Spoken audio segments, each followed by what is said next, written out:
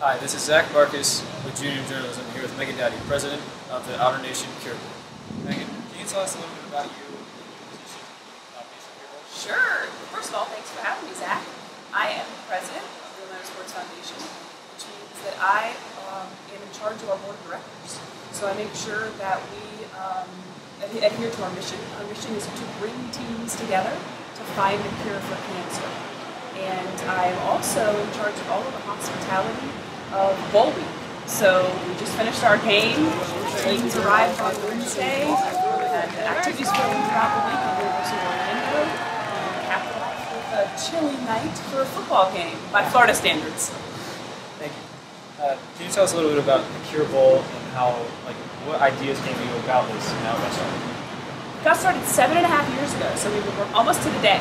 Seven and a half years ago, we've been working on it for a long time, and the idea was to have an event centered around football, but make it a little different. So we wanted to put our cause out front. We're the only bowl game in the nation that uses our cause in the name. So we're the AutoNation Cure Bowl. We are here to cure breast cancer.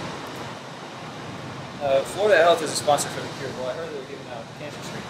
They Can you tell us a little bit about that? So Florida Hospital is, yes, Florida Hospital is our presenting sponsor, and they have uh, at our Florida Hospital Cure Village today, they have their Rural Wellness Center, which um, has a complete fleet of mammography machines.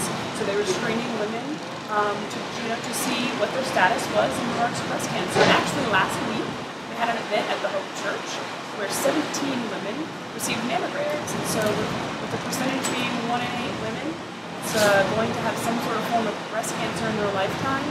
Um, you know, we're helping last week two women statistically. Um, early detection is the key. What does it mean that after seven years, this is finally happening? Are you relieved that it's happening? And what are your final thoughts? Yes, I'm very relieved it's happened. I'm a little exhausted, right?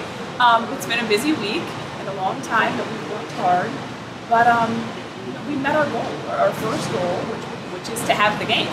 So now we are going to continue to bring teams together to find a cure for cancer and grow each year. Tonight, we were able to, um, with two different check presentations, donate $1.15 million to the Breast Cancer Research Foundation in our inaugural year. So imagine what we're going to do in year two, three, four, five, and indefinitely. Thank you for spending time and talking. My pleasure, Zach. Thank you. This has been Zach Bartkus of the AutoNation Cure Bowl in Orlando, Florida.